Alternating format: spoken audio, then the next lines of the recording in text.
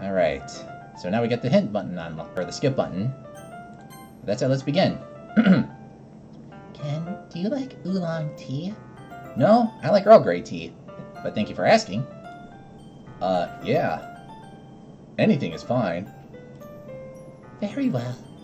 Yuri sets the temperature on the kettle to 200 degrees, which is which is boiling, or close to boiling at this point, because I know water boils at 212. Now it's time to get the teapot. You really do this properly, don't you? Of course. I shouldn't do any less while I'm making tea for others. Even if I'm not an expert on tea or anything? In that case, you'll only be even more impressed. I'll be the judge of that. Uh, perhaps I will. Yuri fetches the teapot and begins measuring the tea leaves. To my surprise, she even starts humming a little to herself. You must be in a good mood now. Is that so?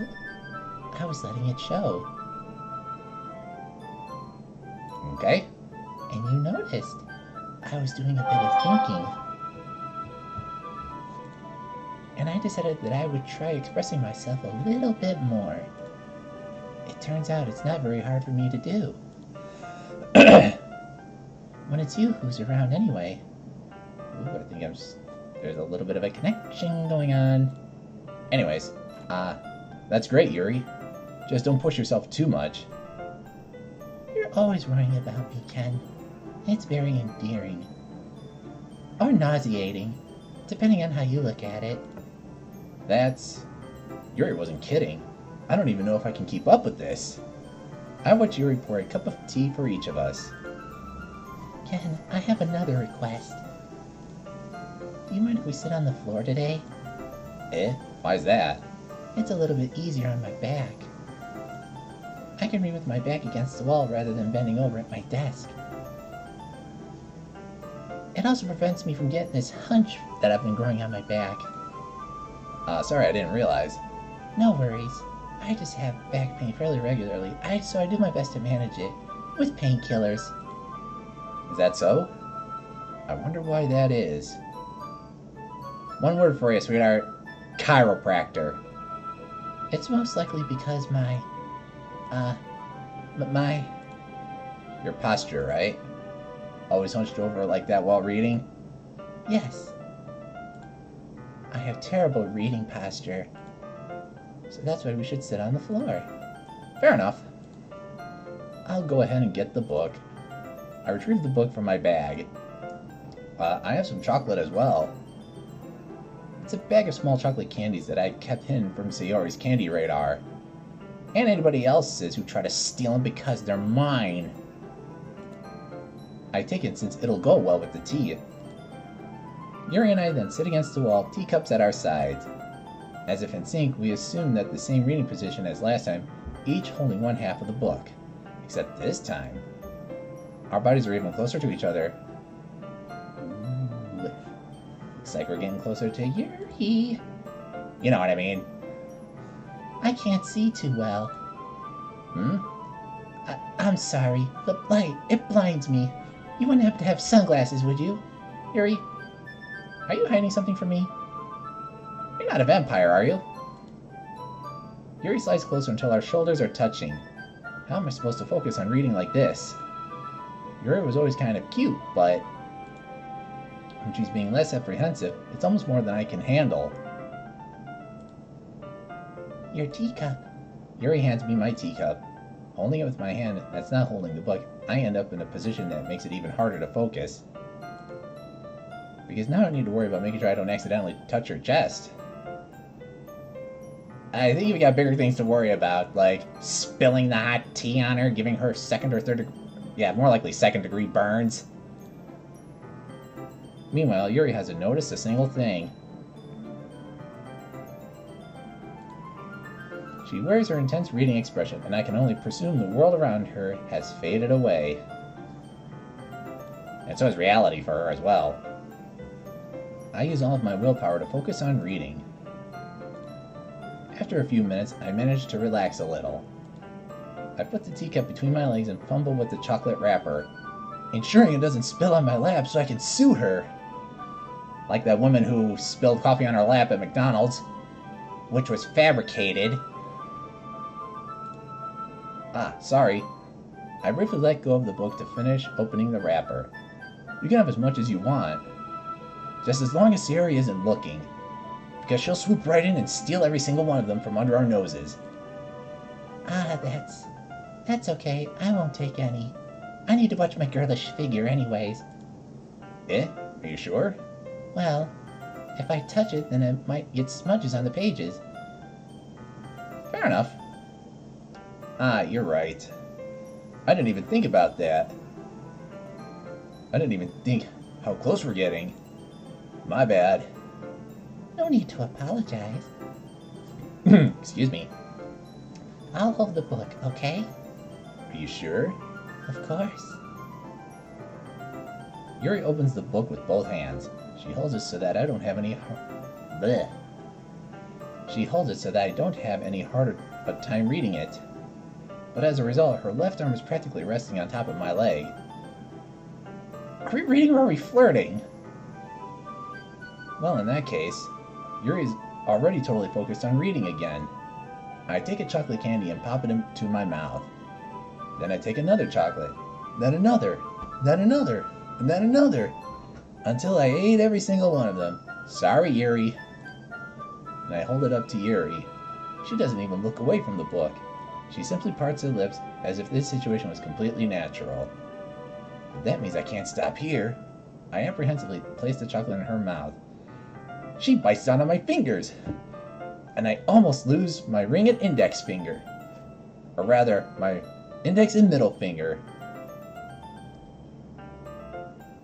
I hope she doesn't turn into a cannibal because of this. Or I guess she could say she got some free finger food. I'll see myself out. I apprehensively put the chocolate in her mouth. Just like that, Yuri closes her lips over it. Eh? Yuri's expression suddenly breaks. Did... did I just... Yuri looks at me like she needs to confirm what just happened. Um... Ken? Sorry. I guess I shouldn't have done that. Ah, that's... well... You're just helping. That's something that friends do. Right? I mean, not really in this kind of context, but... Yeah, that's all it was. Yeah, then you don't need to stop or anything. I see. The situation has gotten really tense. Yuri tries to return to the book, but I can tell by just her expression that she even can't focus now. My heart is pounding, and pounding faster and faster and faster. Till all of a sudden, Unfortunately, Yuri doesn't know CPR. Nah. I nervously take another chocolate between my fingers, but this time Yuri's eyes meet mine. How did it even come to this? Yuri doesn't even Yuri doesn't avert her gaze. I notice her chest rising and falling to the rhythm of her breaths. She's having a panic attack. I must try to calm her down. Just breathe in, breathe out. I raise my arm. Ah, Like before, Yuri parts her lips, but it's different this time. I take the chocolate and place it in her mouth. I feel her hot breath on my fingers. Okay, everyone. What? ah, ah. Yuri jolts back. It's time to share poems. And you can help Yuri put away the tea stuff, right? Yeah, of course. Okay, thanks. I am going somewhere else now. The spell is abruptly broken, and Monika goes back to her blueprints of the Mega Death Ray. I'll... I'll take care of the cups. Yeah? Yuri picks up the teacups from the floor. I pick up the bag of chocolates. In the end, we hastily clean up without so much as a word between us. Things, things went from romantic to awkward, just like that. I get the feeling this is something neither of us will have the courage to bring up. Alright, time to start reading poems.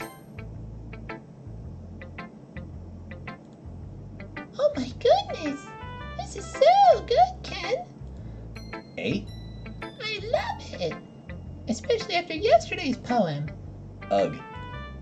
You're too honest sometimes, Sayori. No, but really, I want to put this on my wall so I can show it to my grandchildren in about 60 years from now. Can I? Sayori, you must be seriously overreacting. I'm not a good writer at all. I honestly have no idea what I'm doing. Well, maybe that's why. Because I have no idea what I like either. Jeez. I'm sure Yuri's opinion has to be a little more constructive than this. Maybe even Natsuki's. Are you sure you don't like it just because I wrote it? Eh? Well, I'm sure that's part of it. I think I understand you better than a lot of other people you know. So when I read your poem, it's not just a poem. It's a cat poem. Awkward. And that makes it feel extra special. Like I can feel your feelings in it. Not even gonna go there. Sayori hugs the sheet against her chest. You're so weird, Sayori. I think that's just being a little too kind. I can think of a thousand words better than weird, but not gonna say them. Well, I'm not very good at figuring out if poems are good or bad. But that's why I just go by my heart. If it makes me feel things, then it must be a good poem. I'm not sure if that's exactly how that works. Then again, I guess conveying feelings is a pretty important part of this whole thing. Yeah, maybe. Honestly, I don't even know what kind of writing you like in the first place. Yeah, There are very subtle hints in her poems. me neither. Ugh. Why don't you at least try giving it some thought? Aw, you want me to? Aw, you want to write something for me? That's so sweet. Just don't fry your brain cells. Yeah, right. Well, you're always thinking about other people. You need to think about yourself once in a while. If you don't, you might end up getting hurt at some point. Me? Well, I don't really know what you mean, but I'll try to keep it in mind. Well, whatever. Anyway, let's see. Hmm. I guess I like happy poems. Does she? Wait, sometimes I like sad poems too. Mm-hmm. Sometimes a little bit of both. There's a word for that, right? What's the word I'm looking for? Bittersweet. Yeah. I like things that are happy and things that are sad.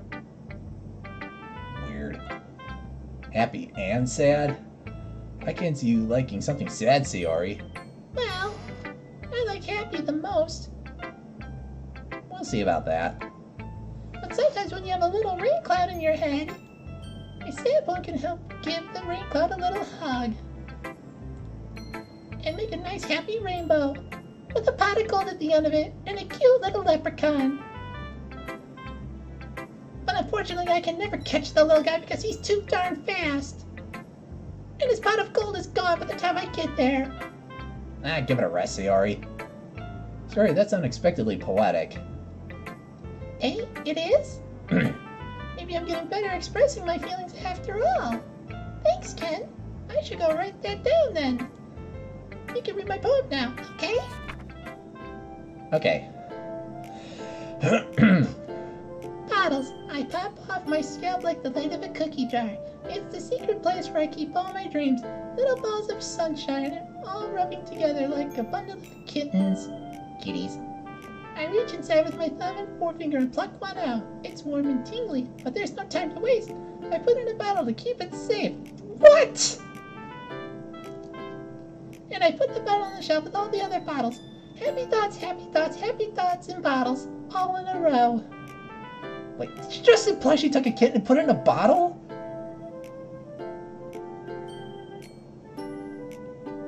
I think I'm overthinking this here. Anyways, let's continue. My collection makes me lots of friends. Each bottle a starlight to make amends. Sometimes my friend feels a certain way.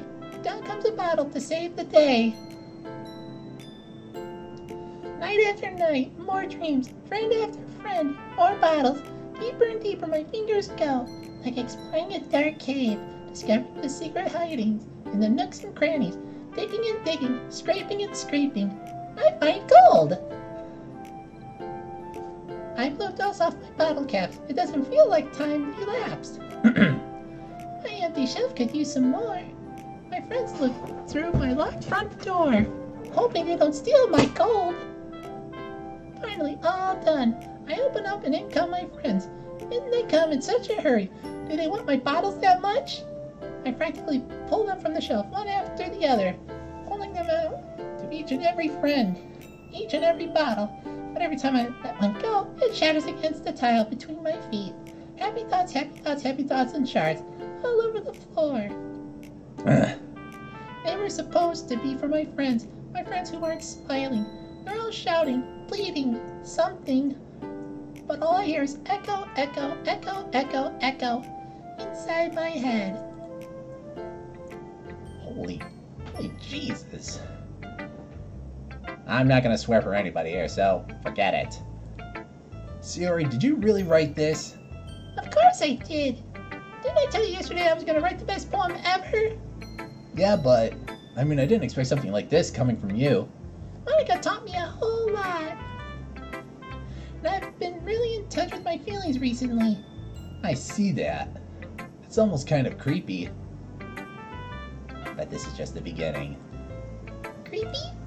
Well, not exactly. Maybe because I'm so used to you being cheerful. Well, never mind. I'm thinking too hard about it. The point is, it came out good, so you should be proud of it. Aw, thanks. I feel like I feel like I was meant to express myself this way. It even helps me understand my own feelings a little bit better. Writing is like magic. Hocus pocus. Best poem ever. You're getting pretty passionate about this, huh?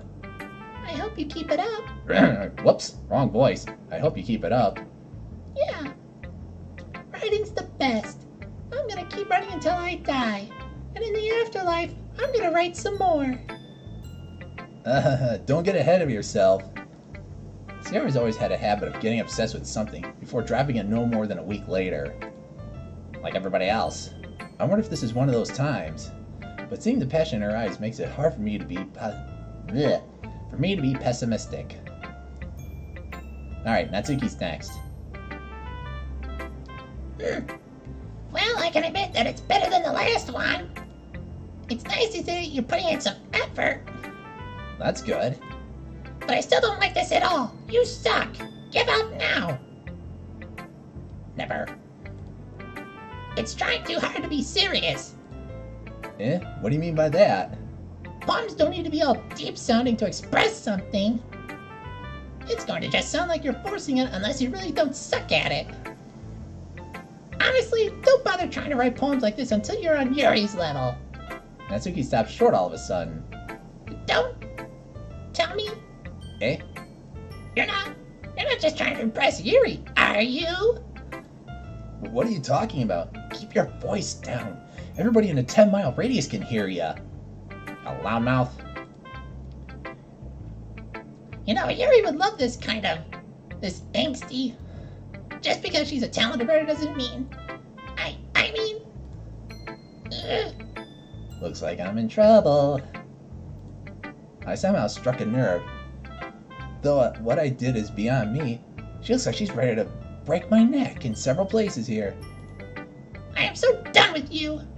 Natsuki shoves the poem I handed her back over to me. Take your stupid poem. If you're writing for someone else, just don't show it to me. Ouch. This is what I get for letting a younger girl step into my business. Unless I was a mind reader, I was destined to be in a world of pain from the start. At least Natsuki wasn't really the girl I was trying to impress in the first place. If you think she was annoying as a student, I'd hate to imagine her as a wife. Honey, the dog needs to be let out again. Billy, you clean up your toys. Timothy, get off that phone. Honey, don't forget to do laundry. Ugh. I would feel very sorry for the guy who would marry Natsuki. Anyways, Yuri's next. Let's see what you've written for today. Yuri stares at the poem with a surprised expression on her face. Do you like it? Ken, this one might be even better than yesterday's. How did you even pick up on this so quickly? I'm just that good. Just yesterday, I was telling you the kind of techniques worth practicing. Maybe that's why. You did a good job explaining. Or maybe I was just oblivious and wrote absolutely nothing out of thin air. I really wanted to try giving it more imagery. Yuri visibly swallows. Even her hands appear sweaty. I'm not used to this. Uh, can we turn on the air conditioning, please? Used to what? I don't know. It's fine. Take your time. Yuri breathes and collects her thoughts. I know that Yuri likes to think before she speaks, so I offer that patience to her. Yeah, just being appreciated like this, I guess. It probably sounds really stupid. But seeing someone motivated by my writing, it just makes me really happy. Interesting. But the happiness doesn't last long. Are you saying you've never shared your writing before? Yuri nods. Sorry about that. Really? I don't believe it. I really only write for myself. And besides, people would just laugh at me. Do you really think that? Again, Yuri nods. Huh. Even your close friends? Yuri doesn't respond to that. I wonder why. Anyway, excuse me. Do you want to share the poem you wrote today? Yeah, I do. If it's with you. The raccoon. It happened in the dead of night while I was slicing bread for a guilty snack. My attention was caught by the scattering of a raccoon outside my window. That was, I believe, the first time I noticed my strange tendencies as an ordinary human. I gave the raccoon a piece of bread, my subconscious well aware of the consequences. Well aware that a raccoon that is fed will always come back for more. And would have to call the city on me, just because I have a raccoon running loose. The enticing beauty of my cutting knife was the symptom, the bread, my hunger curiosity, the raccoon, an urge. It decided to take residence in my in my tree. The moon increments in its phase and reflects that much more light off of my cutting knife, the very same light that glistens in the eyes of my raccoon friend. I slice the bread, fresh and soft. The raccoon becomes excited, or perhaps I'm merely projecting my emotions into the newly satisfied animal. the raccoon has taken to following me. You could say that we've gotten used to each other. Not a smart move. The raccoon becomes hungry more and more frequently, so my bread is always handy. Every time I brandish my cutting knife, the raccoon shows me its excitement. A rush of blood, classic Pavlovian conditioning. I slice the bread, and I feed myself again. Pavlovian, meaning conditional response. And Pavlovian refers to Pavlov. And I remember, I don't remember his first name, but he used, but what he did is he would ring a bell and the dog would salivate. Called conditional response is what it is what she's referring to. I remember this from my psych course, but I don't remember the full details. Anyways, Um, I was a little more daring with this one than yesterday's. I can see that. It's a lot more metaphorical. I don't know if it's my fault, but I can't begin to imagine what this poem is about. That's right. Yeah, it's called Not Beating Wild Animals. Twit. It's a bit closer to my preferred writing style, using the poem as a canvas to express vivid imagery and conveying emotions through them. Yeah, if I take it at face value, then I can't even figure out what it's supposed to mean. Well, I think it's something that a different Blech. Take two. I think it's something that different people can relate into Blech. to in their own way. I wanted to express the way it feels for me to indulge in my more unusual hobbies. It's those sort of things that I'm usually forced to keep to myself. So I sometimes enjoy writing about them. Fair enough. Why do you keep them to yourself? Be- because they're embarrassing and people would make fun of me. Don't you have anything like that, Ken? Well, yeah, I guess I do. I feel like everyone has a little something like that. The best we can do is respect each other and our individualities. Even if it's difficult sometimes, and some things make us uncomfortable. After all, if I hadn't learned to embrace my own weirdness, I would probably hate myself. I, I might be ranting a little bit now, but I'm glad that you're a good listener. You're so good at a lot of things writing, listening, feeding me chocolates, ignoring the pain that I gave your index and middle finger from biting earlier, the blood on the floor from your from having two less fingers. There really aren't many people like you, Ken. That's exaggerating a little bit. It's just how I feel. Ah, there's plenty of fish in the sea. I never thought I would feel so comfortable sharing my writing. But now I almost feel like I look forward to it. It's just a really nice feeling. And you're to thank for that. It's it's nothing really. Yuri smiles sincerely at me. For just a moment, her timidness seems to disappear. Aw. Alright. Hi again, Ken. How's the writing going? Alright, I guess. How are your plans for world domination? Er, I mean, your poem's going. I'll take that. As long as it's not going bad. I'm happy that you're applying yourself. Maybe soon you'll come up with a masterpiece. I wouldn't count on that. You never know. Want to share what you wrote for today? Sure, here you go. I give my poem to Monika. Alright, this one's good. It feels like you're not only getting more comfortable with your own style, but the imagery is better than the last one I read. Just wondering, have you been finding inspiration in Yuri's writing style? Hmm. I guess so. You can't deny that she's talented. Yeah, totally. I think her poems are the most romantic. That's the best way to describe it. She's like a totally different person when she picks up a pen or a sword. I noticed that too. Or when she's talking about literature, it's like a light turns on inside her. Mm-hmm. Sadly, it's hard to get much personal conversation out of her. Trust me, I've tried. I've tried interrogating her. It fails. I've tried putting my nails up against the chalkboard to make her speak. That failed. What do you think I suggest I do? Who knows what goes on in that head of hers? Probably best you don't. I hope you don't mean that in a bad way. No, of course not. I just meant that I wish she didn't keep so much to herself. But still, defending her like that, you must be pretty into her. What? Eh? You completely misunderstood. Ahaha, calm down. I'm kidding. Besides, I'm pretty sure she's already got a boyfriend. Wait, really? Yeah, a fictional one. Anyway. I've heard of people falling in love with their work, but this is going too far. Anyways, Monika kind of whispers that last part to me. It's just a hunch, but... Well, there's not really anything wrong with that. Oh, well, I know. I was just saying. But anyway, no, I am not putting cameras in her bedroom when she's not looking. I am not spying on her like some creep. You want to read my poem now. I like the way this one turned out, so I hope you do too. Alright, let's take a look. Uh-oh. Save me. The colors, they won't stop. Bright, beautiful colors. Flashing, expanding, piercing, red, green, blue. An endless cacophony of meaningless noise.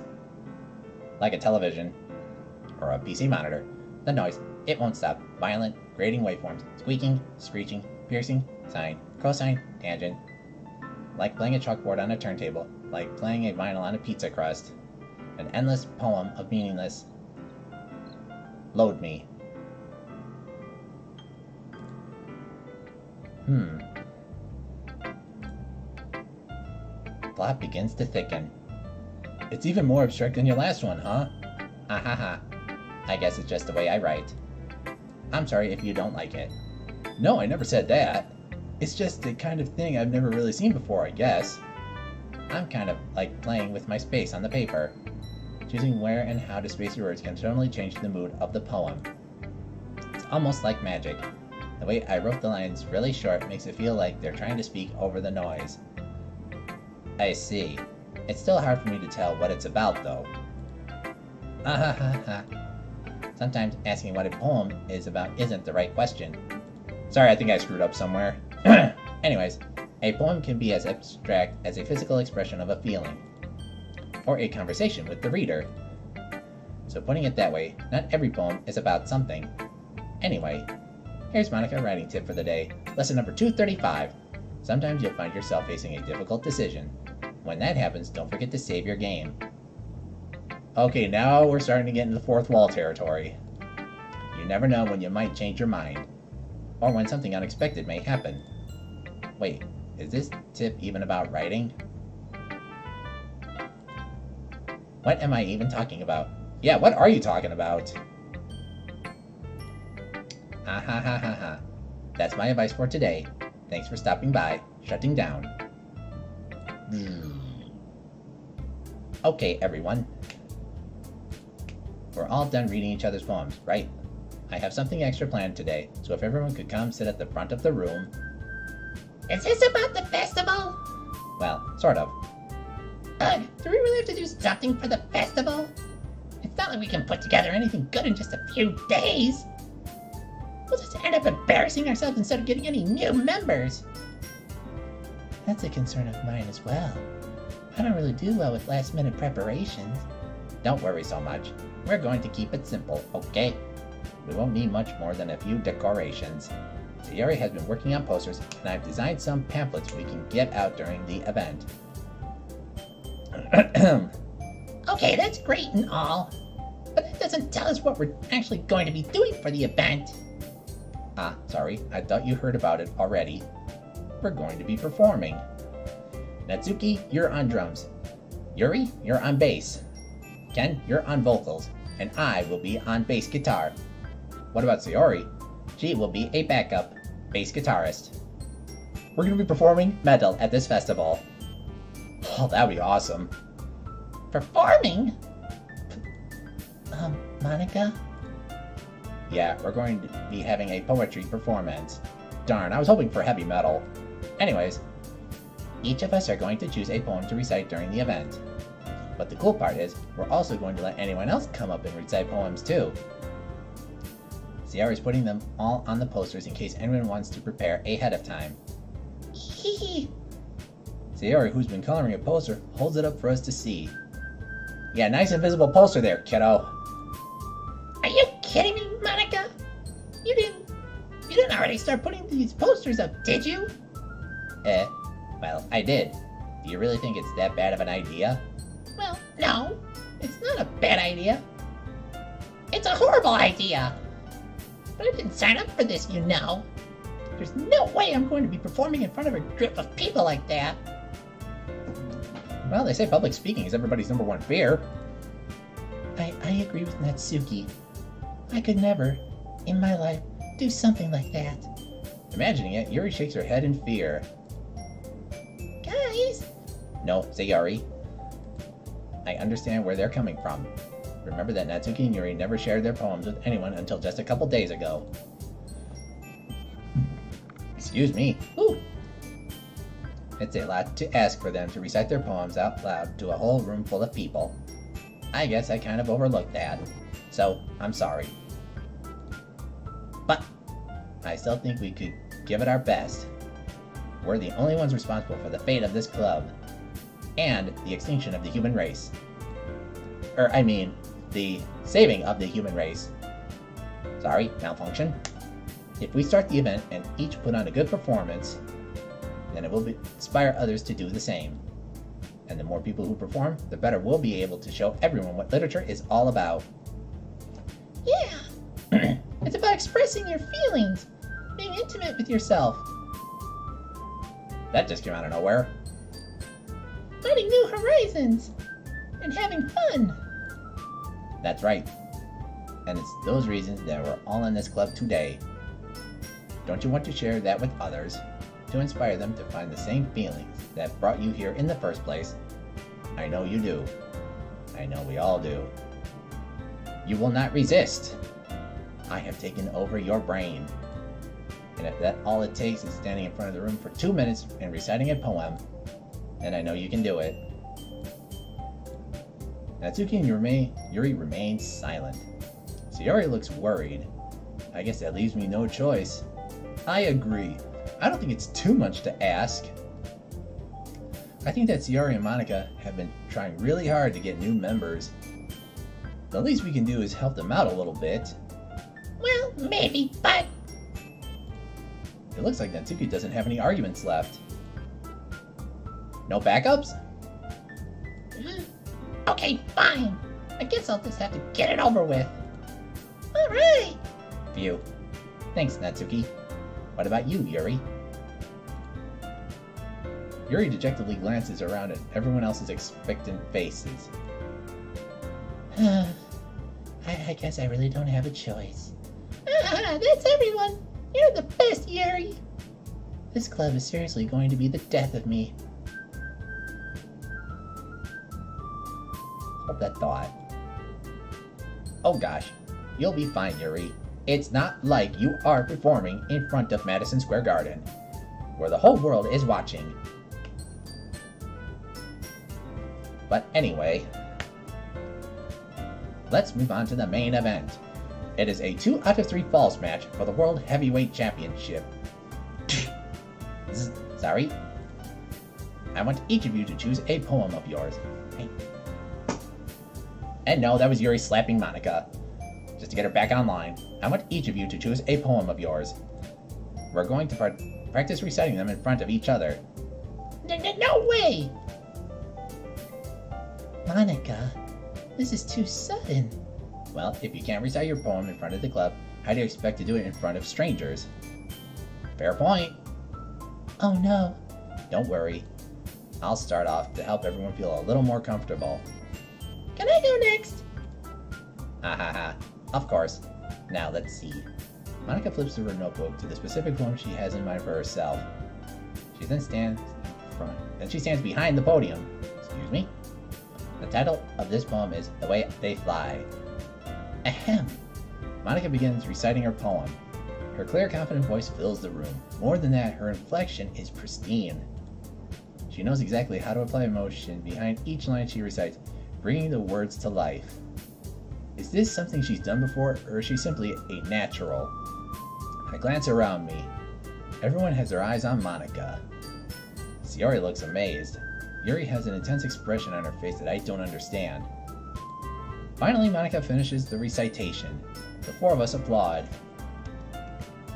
Yay! Monika takes a breath and smiles. That, that was so good, Monika! Ha ha ha, thank you very much. I was just hoping to set a good example. Are you ready to go next, Sayori? I, I'll go next. What? You're so fired up all of a sudden. Yuri clutches a sheet of paper between her hands and stands up. Keeping her head down, she walks quickly over to the podium. This poem is called. Yuri anxiously glances at each of us. You can do it, Yuri! It's called After Image of a Crimson Eye. Yuri's voice shakes as she starts reading the poem. Just a moment ago, she practically refused to do this. Why is she suddenly putting in so much effort? As Yuri gets past the first couple of lines, her voice changes. It's almost like what happens when Yuri gets absorbed into her books. Her quivering words transform into the sharp syllables of a fierce and confident woman. The poem is full of twists and turns in its structure that she enunciates with perfect timing. This must be a rare glimpse into the whirling fire Yuri keeps concealed inside her head. And possibly more. And confidence. Suddenly, she's finished. Everyone is stunned. Yuri snaps back into reality and glances around her as if she bewildered even herself. I. It's up to me to save the situation. That'll be 20 bucks. I'm the first to start applauding. Everyone joins me afterward, and we give Yuri the recognition she deserves. It's not that we didn't want to applaud for her, but we were caught off, so off guard that we must have forgotten. Was everybody zoned out while she was reading this? I mean, jeez. As we applaud, Yuri holds the poem to her chest and rushes back into her seat. Yuri, that was really good. Thank you for sharing. Looks like Yuri is down for the count. One, two, three. Ding, ding, ding. Winner and new champion. Wait, wrong event. Okay, I guess I'm next then. Sayori hops out of her chair and cheerfully walks up to the podium. This one's called My Meadow. Ah, ah, sorry, I giggled. Hee Sayori. It's a lot harder than I thought. Brother. How'd you guys do it so easily? Ah. Try not to think of it like you're reciting to other people. I imagine you're reciting it to yourself, like in front of a mirror, or in your own head. It's your poem, so it'll come out the best that way. I see, I see. Okay then. Sayori begins her poem. Somehow it feels like her soft voice was made as a perfect match.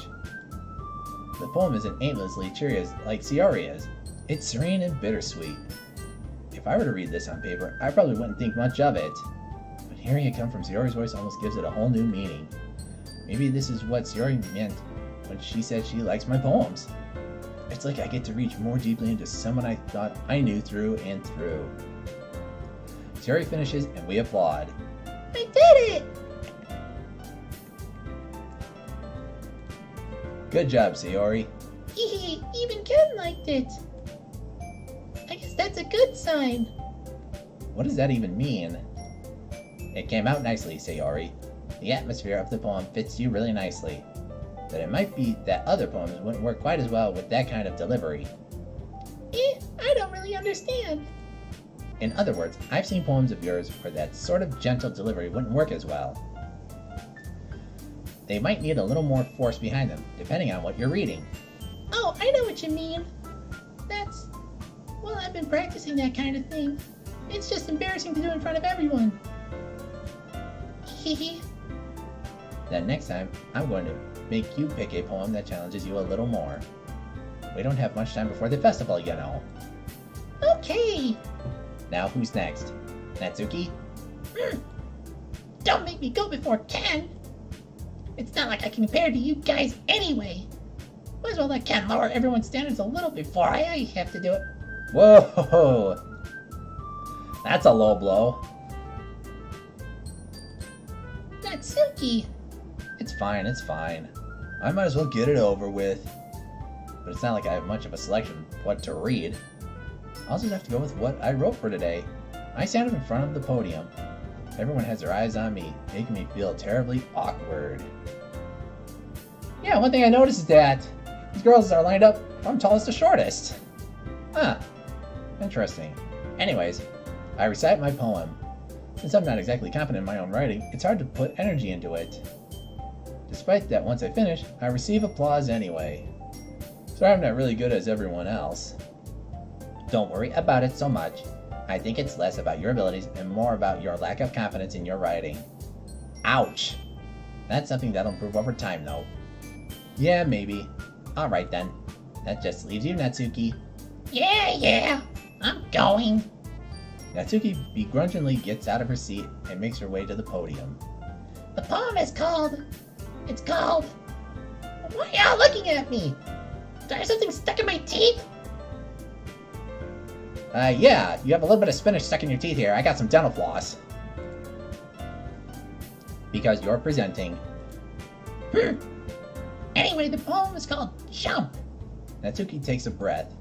Once she starts reciting the poem, her sour attitude disappears a little. While she's still a little unenthused, her poem has a rhythm and rhyme to it. It's Natsuki's trademark style, and it works surprisingly well when spoken aloud. Whew. The words feel like they bounce up and down, as if giving life to the poem. Natsuki finishes and everyone applauds. She huffs back to her seat. That wasn't so bad, was it?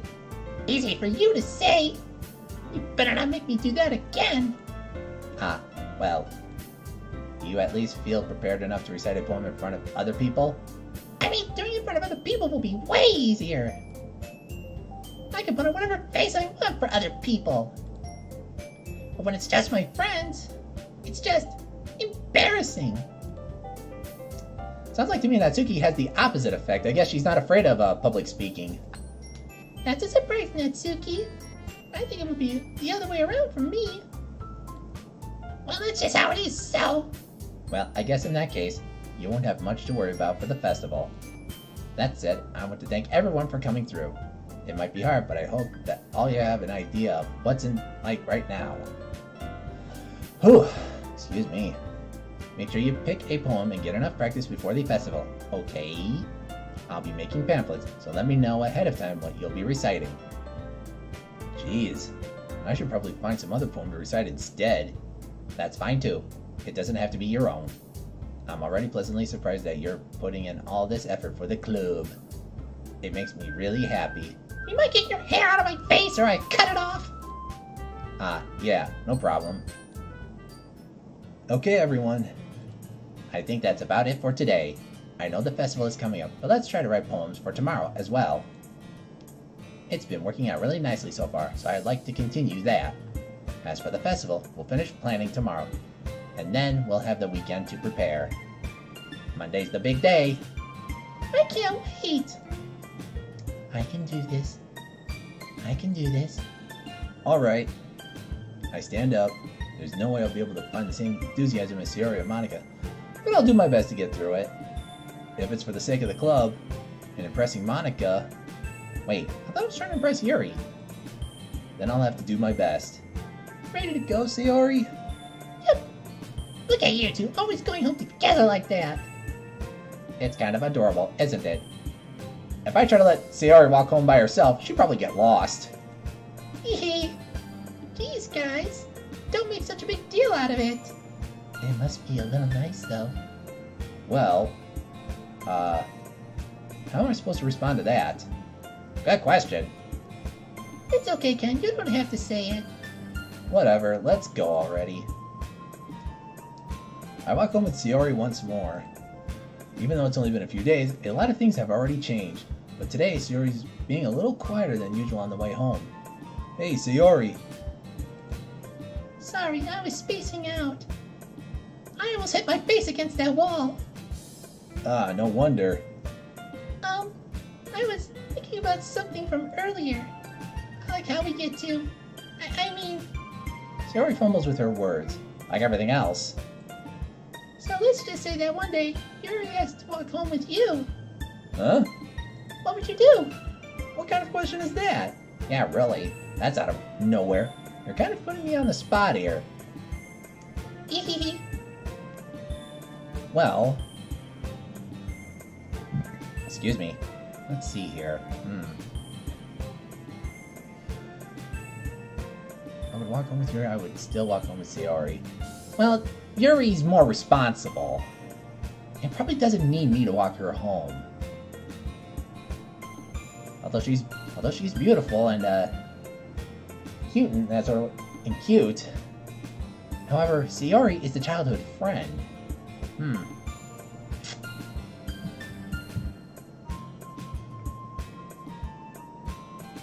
Well, I'm just trying to think here. Hmm. How to go about saying this? I mean, like I said, I'm trying to win over Yuri, but someone's got to keep an eye on Sayori, so I think I'm just going to go with number two. Because I severely doubt if she tried to walk home by herself, she'd probably get lost. Sayori, you really think I would ditch you for Yuri? Eh? But but she's so beautiful and smart. Jeez, I already see her in the club every day. Besides, you always seem to really like going home together. Especially considering you owe me 250 bucks from the other times I had to walk you home. I wouldn't just ruin that for you. You're so silly, Ken. You think about me too much sometimes. Yuri would deserve it if she wanted it, so... Sayori, I've already made up my mind. I really can't figure you out sometimes. Probably best you don't. Besides, what's the point in speculating something that's never going to happen? Hmm. The conversation trails off. It's kind of a weird thing for Sayori to care so much about. But I want to respect her and keep her happy too. Then again, the festival is only a few days away. Who knows what will happen in that time? Alright, round three. Let me see here. Like I said, I'm still gonna try to impress Yuri, so... Hmm.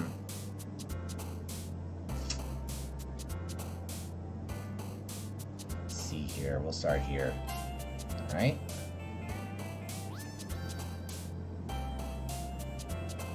Nope.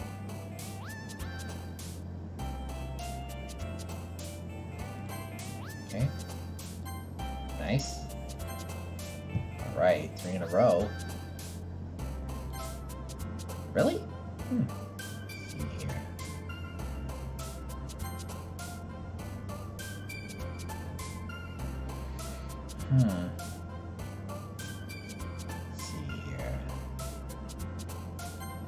Really? Hmm.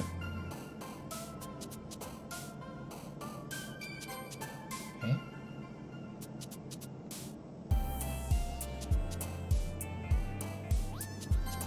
Whoops. Shoot. No, I want to impress Yuri. Not, not, not you, Sayori.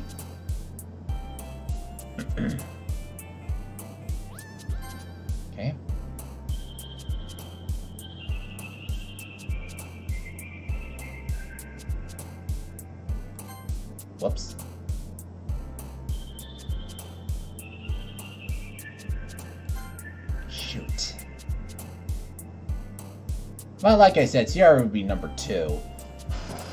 Hello, welcome to the stream. How's it going? Let's see here. Hmm. I'm doing all right. My throat's a little uh, my throat's a little uh, a little stressed out right now. Doing all these voices. Let's see here, and trying to figure out how to uh, win over uh, Yuri. Well, that's part of being a voice actor, you know. Anyways, let's see here. Just trying to think. Hmm, this one's gonna be a little bit tougher. I'll just take a shot in the dark. There we go. Alright. Um, okay, I do know Puppy and Pink are not it. Candy's not it either. Perfect. Are the intense ones? Up.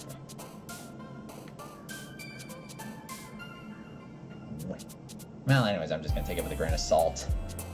So intense, huh? Okay. Although I think with some of the words, they kind of throw you a bit of a curveball. Like you think one word is associated with one character, but when you select it, it goes with someone else. Hmm. I do know anime is not it. And neither is strawberry.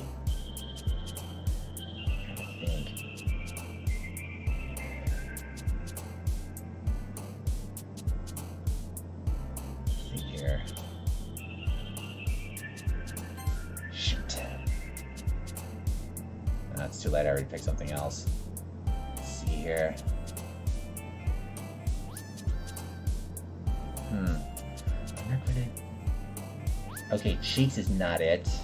I think Pat's out also. Hmm. But like I said before, should something go awry, Sayori's the backup. I don't think Vitality is another word either.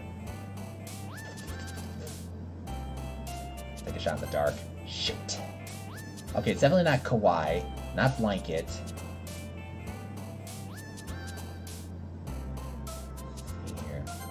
There we go. Got the last one. Ah, man. I'm the last one here again. Don't worry, I just walked in too. Were you practicing piano again? Yeah, I was not preparing for world domination. Ha ha ha ha ha ha. You must have a lot of determination. Starting this club and now picking up piano. Well, maybe not determination. World domination, perhaps. Er, I mean, but I guess passion.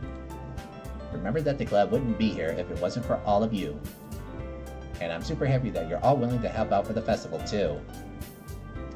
I can't wait for the festival. It's gonna be great. We'll see. Hey, weren't you complaining about it yesterday, Natsuki? Well, yeah. I'm not talking about our part of the festival. You lazy. Good lord. If that's not the definition of lazy, I don't know what is. But it's a whole day of school where we get to play and eat all kinds of delicious food. You sound like a bit like Sayori all of a sudden. Monika, do they usually have fried squid? You're doing fast and high pitched voice. Well, usually with voices, you kind of have to match the character a little bit.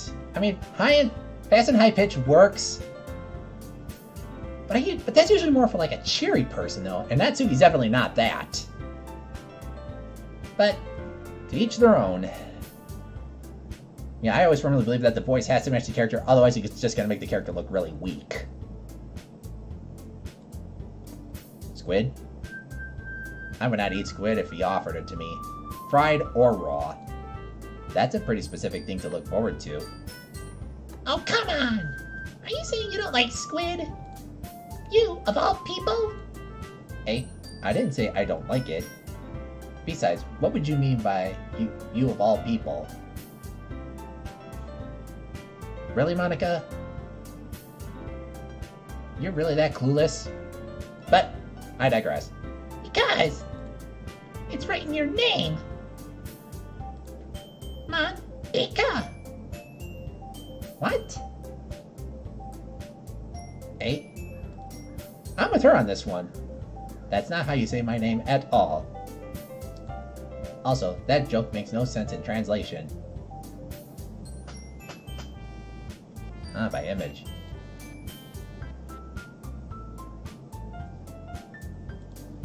Ah, never mind. Let's just focus on our own event for now, okay?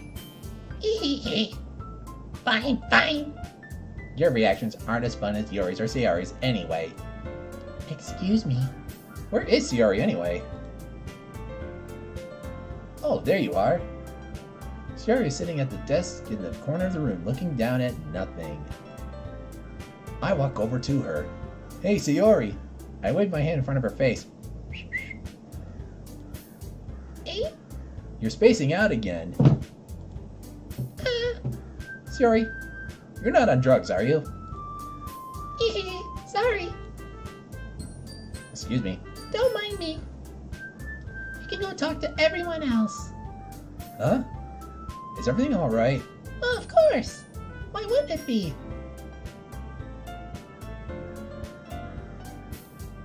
I just feels like you're a little off. Sorry for assuming things. Geez, you worry too much about me. I'm fine, see? Sayori shows me a big smile. But deep down, I don't think there's a smile there. Just saying. Don't let me distract you from having fun with everyone. Well, alright. If you say so.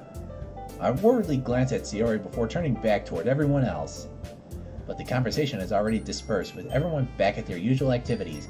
Maybe I should ask Monika if she's noticed anything about Sayori recently. Since they've been preparing for the festival, they must be spending a lot of time together. I timidly approach Monika, who was shuffling through some papers at her desk. Ken, what's up? The sky, that's what's up. Hey, this might sound a little strange, but have you noticed anything up with Sayori recently? Anything up with her? In what way do you mean? Maybe I'm reading into a little into it a little too much, but she seems a little downcast today. Oh, you think so? I can't say I've noticed anything about her.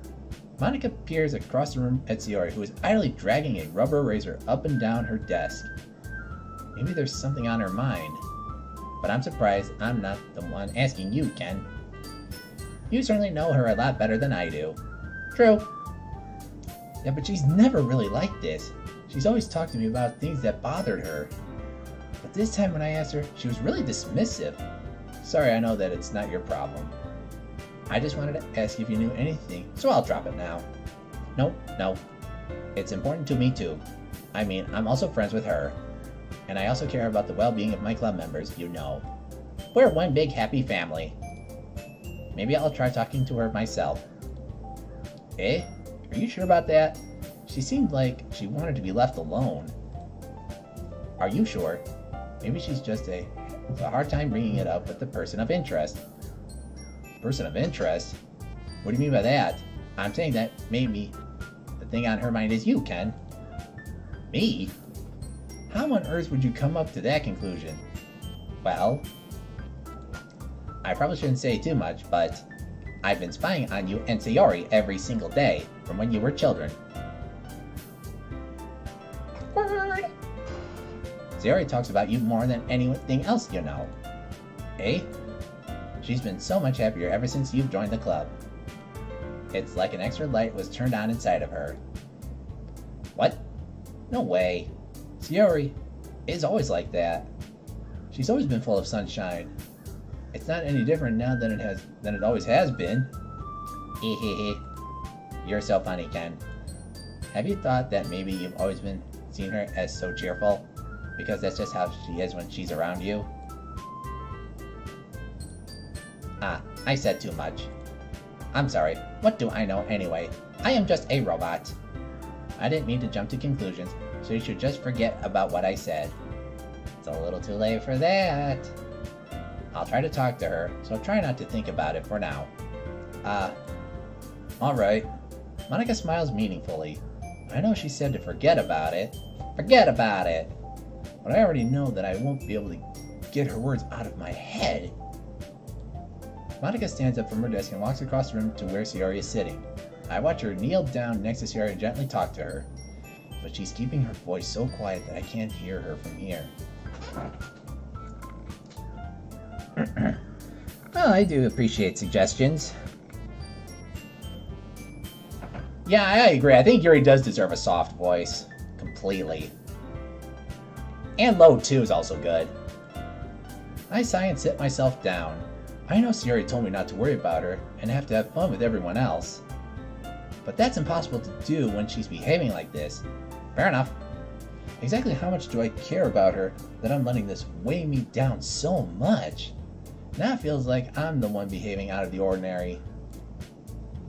But there's nothing I can do besides wait for Monika. Why does it feel like I'm being watched? I glance around the room. Suddenly, I notice Yuri peering at me from over her book. But she looks away just as quickly with a flustered look on her face. I realize that she won't get anywhere like this. I've never really seen Yuri approach anyone or start a conversation on her own accord. So I have no choice but to approach her myself. By now, it's a little easier for me to do that. I stand up from my desk and sit in one next to her own. I I didn't mean to bother you or anything. Relax, you didn't even do anything. But I could tell you that you wanted to be alone and with your thoughts. Alone with my thoughts? How are you even able to tell that I was thinking like that? I'm psychic. Well, it's something that I do a lot, so it wasn't hard for me to spot based on your posture and expression. And I can peer into your mental. Let me try that again. So it wasn't hard for me to express. Bleh. Take three. So it wasn't hard for me to spot based on your posture and expression, and I can peer into your subconscious. Weird. Not that I was staring or anything. I didn't do anything creepy like that.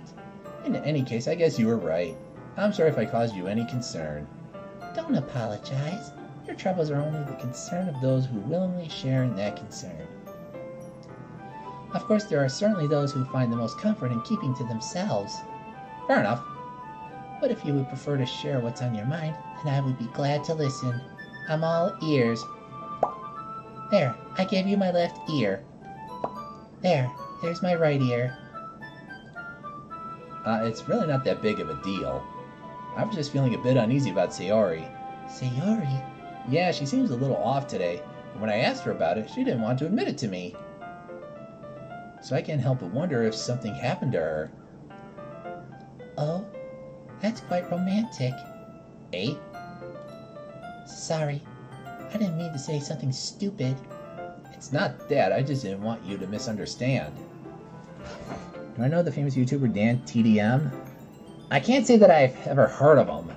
Yeah, I'm kind of limited as far as who I know and who I know about as far as YouTubers go. I know the Grumps.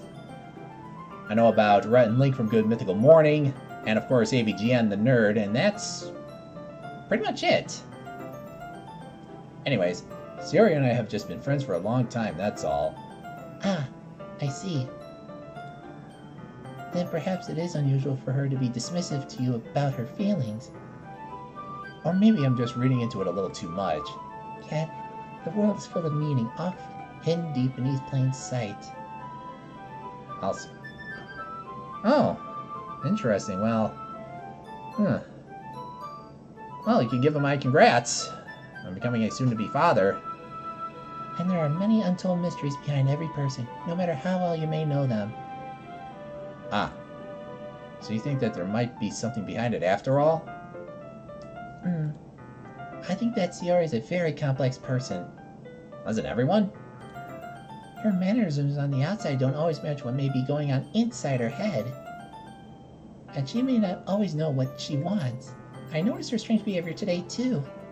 And I also feel some concern for her. But in your case, it looks like she was fully occupying your thoughts, wasn't she? That's a weird way to put it. Well, I guess that was the case. Sayori.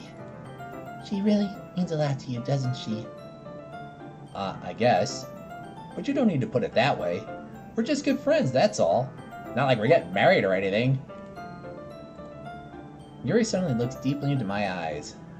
Her expression is gentle and curious, as if she was searching for something. Maybe she was searching. She better not be searching through my nose for, uh, gold. Embarrassed, I avert my gaze. Sometimes, a person's mysteries are untold even to themselves. And you, as someone honest and caring, may uncover feelings you weren't aware were in you. That is, I think that she would be a very fortunate person to have you feel that way about her. Yuri, you're giving me too much credit. I prefer debit, thank you. I'm a pretty simple guy, so I think it's pretty good at understanding my own feelings. I'm not nearly as sophisticated as you. Ah, that's not a compliment, is it? No, it's an insult. It is what it is. Anyways, as long as we're here, why don't we do some reading? Well, as long as you're okay with it. Yeah? I should be taking my mind off this whole thing anyways. Okay, everyone. After some time passes, Monika calls out to the club room. Why don't we share our poems now? Before I know it, everything is back to normal. Is it? Everyone goes to retrieve their poems, and I do the same. I make eye contact with Monika, and she smiles at me, while her green eyes pierces through my head, as if she was to blow my brains out with her deadly laser eyes. I wonder what she was talking about with Sayori. Alright, just like before, Sayori's first. Hmm, it's nice, I guess. Come on, I can already tell you don't like it. Well, you don't need to worry about what I think. After all, you wrote this for someone else, didn't you? Probably Yuri. Don't assume things of Sayori unless you have facts. Hey, I didn't write this for anyone specifically. Maybe. That's not really what I meant, though. But it's okay. You're making new friends, just like I was hoping. That makes me really happy. And you're happy too, right?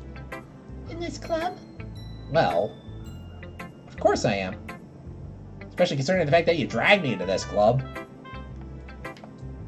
Good. That's all that matters to me. Thank you, Ken. Sayori, is there something wrong? Huh? No, nothing. I'm just a little tired today. Hee hee hee. Alright, just tell me if you need anything. I will. Don't worry About me, okay? You can go play with everyone else now. Not a mother. You're a student. If you insist. Yay! I'm gonna go home a little bit early today. Sayori, Tell Monika I wasn't feeling well, okay? I'll see you tomorrow. before I can say anything else, Sayori cheerfully walks out of the classroom, humming to herself. Alright, Natsuki's next. Yeah, no thanks. Hey, you didn't even. Next. Well, that was unexpected. Ken, your writing has only improved in these last few days. Every poem you've shown me has been nothing short of spectacular. I can really feel the emotions. I'm a little envious, even. I don't think it ever came to me this naturally. Yuri, that's the wrong way to put it. This never did come naturally to me. But I've been able to improve so much thanks to you. You're really the example I was chasing after. Is that so? Yuri gently smiles to herself. This feeling. I'm so glad I got the chance to share my writing. I never thought it would feel like this. I remember you mentioning that yesterday. I can't believe that you're so good at something and you've never even shared it with anyone. It's kind of a shame. Maybe, but it's not like I really had a choice. What do you mean? Well, Yuri smiles sadly. Ken, during lunchtime, I eat by myself. Did you know that? It's a great time to find a quiet spot and do some reading. In fact, I always have some books with me.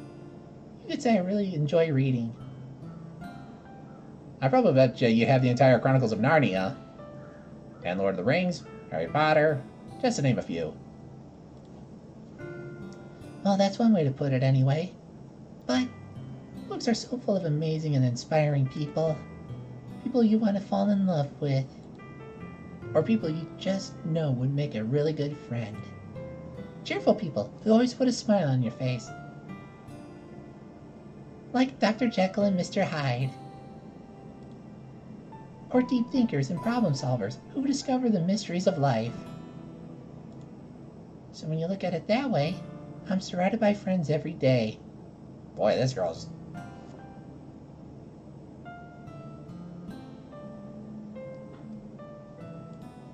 You know? And those friends don't laugh at me. They don't tease me for spacing out all the time. They don't make fun of my body type. And. And they don't hate me for acting like a know it all. People say that about you? I'm not a know it all, Ken. It's the opposite. I don't know anything. I don't know how to talk to people. Then what are you doing in a literature club then? That's what you're supposed to do. You're supposed to socialize. I don't know how to make people see me as normal. All right, let me just stop here for a second. And yeah, that's a real big problem we have in today's society where if you don't do one thing one way, people are going to frown upon you for that. And that is just sad. I mean, people need to be a lot more open minded. Anyways, I don't even know how to make myself happy. I have all these feelings, and all I can do with them is read and write. But it wasn't until now that I started sharing it with you that I really understood what was missing all this time. But I haven't really done anything. No, that's wrong. Just being patient and respectful. That's really important to me. I know I'm a difficult person, Ken. I speak too slowly. I second guess myself all the time. I read too deeply into things, but every time, you've always treated me just like anyone else. It's so weird that I feel comfortable with myself when I talk to others, but that's why every time I talk to you, I just feel really happy. I see. Well, I treat you how you deserve to be treated, Yuri.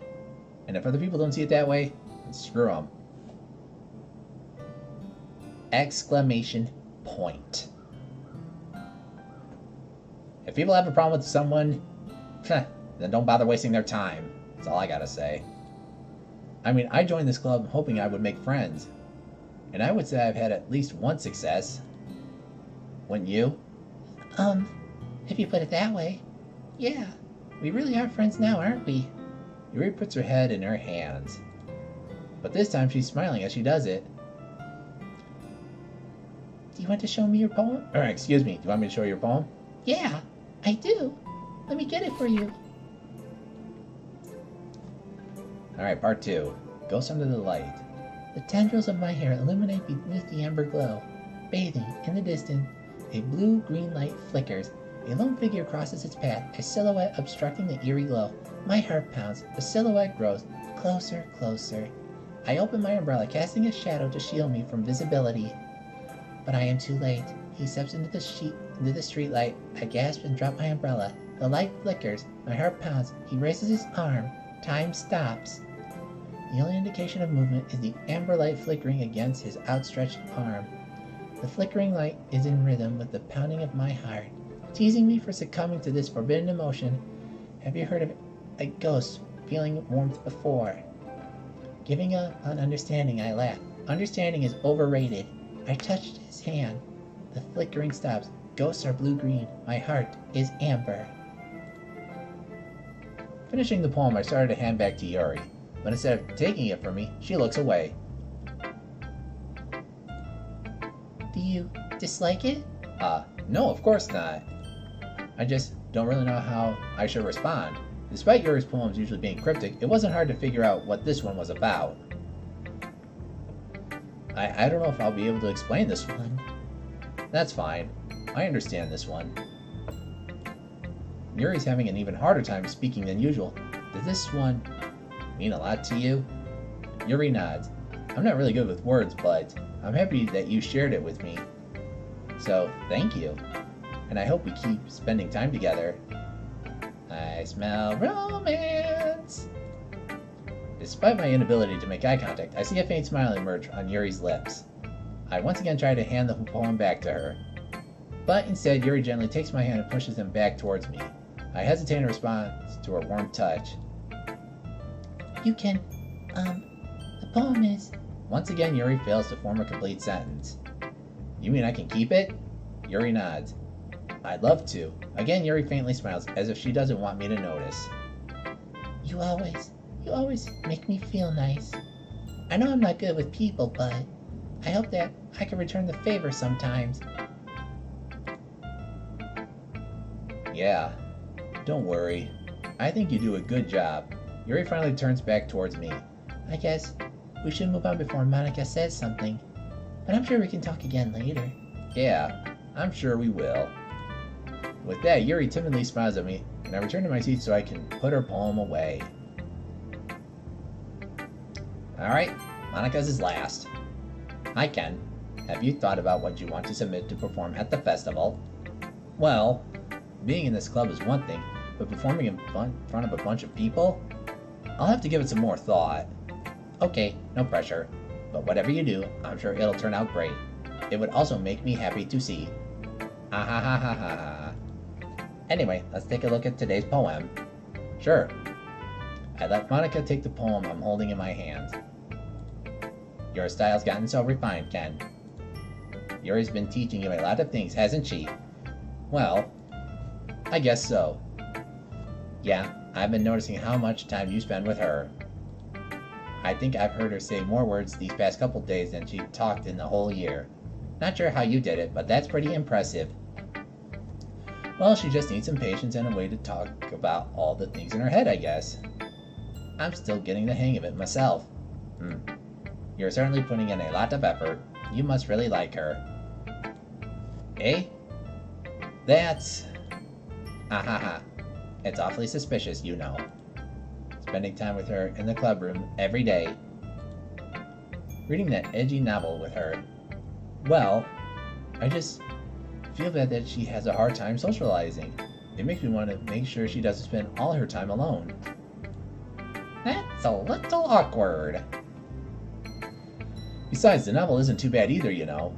Alright, alright. I get you. Just be careful, alright? I know that Yuri isn't used to opening herself up. So if something bad happens while she's vulnerable, then it could be really hard for her. Her books aren't a total escape from reality. They're just a bandage. You say that like I'm going to hurt her. Sorry, I didn't really mean that. If anything, she might accidentally hurt herself. Ooh. Bit of foreshadowing. Anyway, I'll share my poem with you now, alright? Er, alright.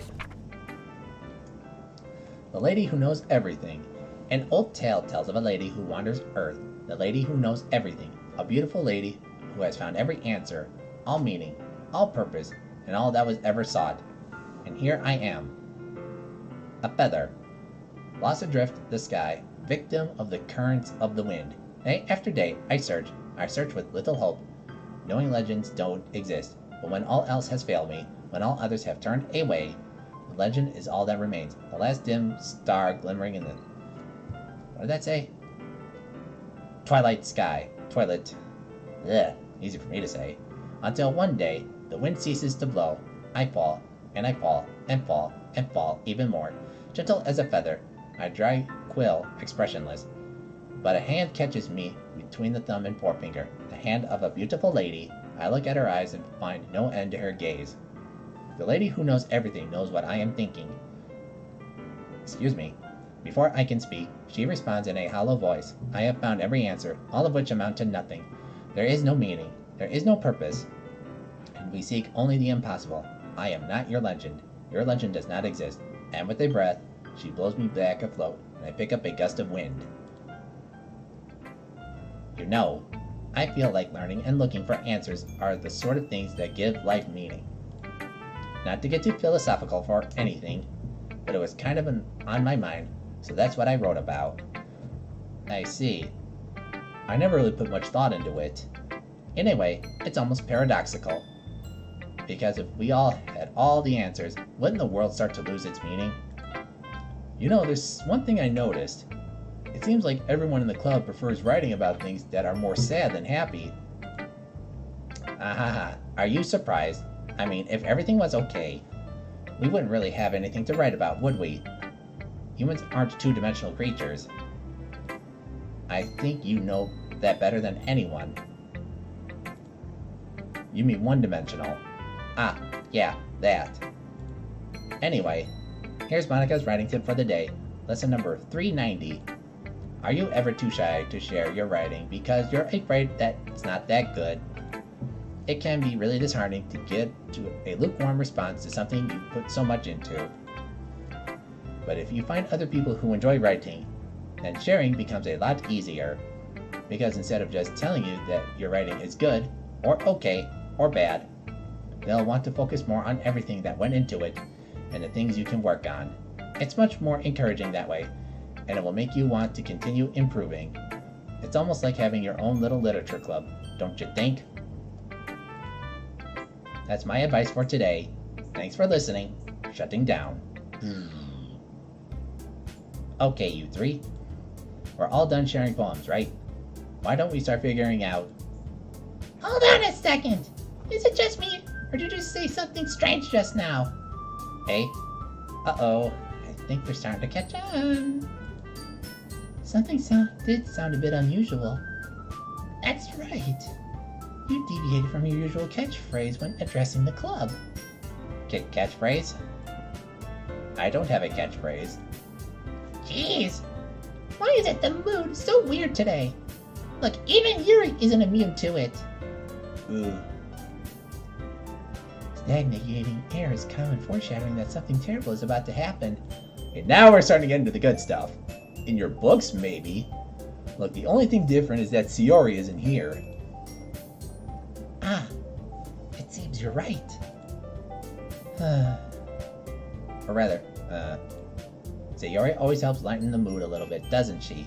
It's almost like everyone's balance is thrown off a little when she's not around. Where the heck did she run off to anyway? I thought she just went to pee. Natsuki, Please show some decency. Oh, come on! uh, she actually wasn't feeling too well and went home early. Is that so? I hope she's alright. Seriously? All the times to not go home with her, you pick the time she's not feeling well? Well, excuse me, Natsuki. So much for you two being all lovey-dovey. Uh, no. First of all, stop misunderstanding my friendship with Sayori. And second, she's kind of been avoiding me today, so I didn't want to force it. Oh. That curious expression coming from Yuri. Of all people? Calm down, guys. I talked to her earlier, and everything is fine. What did she say? Anyway, we need to figure out the rest of the festival preparations, so let's decide what everyone will be doing this weekend. I already know what I'm doing. That's right. Natsuki will be making cupcakes. But we might need a lot of them, and different flavors. Can you handle that all by yourself, Natsuki? Challenge accepted. And as for myself, I'm going to be printing and assembling all the poetry pamphlets. Sayori will be helping me design them. And as for Yuri... Wait. Program loading. Program loaded. Yuri, you can... Uh, um... System malfunction. Shutting down. Reboot. Huh? Guys, can you help me come up with something for Yuri? I... I'm useless. N- no. That's not it at all. You're the most talented person here, you know. Now Natsuki's pouting too. Geez, even I can tell now. I guess I never gave Sayori enough credit, but I can tell things are even harder on you when she's not around. Plot's really beginning to thicken. Ah, that may be the case, but if I can't also be a leader on my own, then I won't grow as a person. So, Yuri, you have beautiful handwriting, you know. So you should make some banners and decorations to help set the atmosphere. Atmosphere? Um, about that. I... I love atmosphere. Yuri's expression suddenly changes as she stares at her desk in focus and starts nodding to herself. Your mind is already racing, I see. That's great. You'll be a wonderful help, Yuri. But anyway, that just leaves you, Ken. The one who is truly useless. Ha ha ha ha. Don't say that. In fact, both Natsuki and Yuri have some pretty heavy tests to handle. It would probably go a long way to give one of them a hand. You could always help me out as well. I would be really appreciative of that. Uh, that... Is Monika suggesting I spend the weekend with one of my club members? How on earth are they going to respond to a suggestion like that? Uh, I, I suppose I wouldn't mind a little bit of help. Well, even if you don't know how to bake, there's always some dirty work I could give to you. It's not like Monika's going to give me a choice. You shouldn't be sitting on your butt anyways. Oh, that's what I was planning to do. Just sit on my butt and stare at the wall and watch paint dry. Natsuki tries to mumble a bunch of excuses like that. Um, if I recall, Natsuki, you mentioned that you would like to handle the baking on your own. Ken may not be Ken may not like to be around you if you only make him out to be a nuisance. So therefore, he may be more suited to assisting with the decorations. Hold on, I never said that! Hard could it be to make a few decorations anyway? Sounds more like you're just making excuses for to... Whoa, censored! What are you saying? It will be extremely meticulous work. And baking isn't? Just what do you think? Guys, guys, let's settle down for a moment. In the end, I think it's up to Ken to decide how he like to contribute. Besides, he hasn't really gotten the chance to spend any time with me yet, you know. And for good reason. So I'm sure he's interested in. You literally just said. I, I'm surprised as well. Sorry, sorry. I was just saying though. Jeez! Can we just settle this already? Yeah. Ken, you're okay with this, right? In the end, it's up to you. Uh, of course. Very well. In that case, everyone looks straight at me. Hmm. Tough decision making here. Hmm.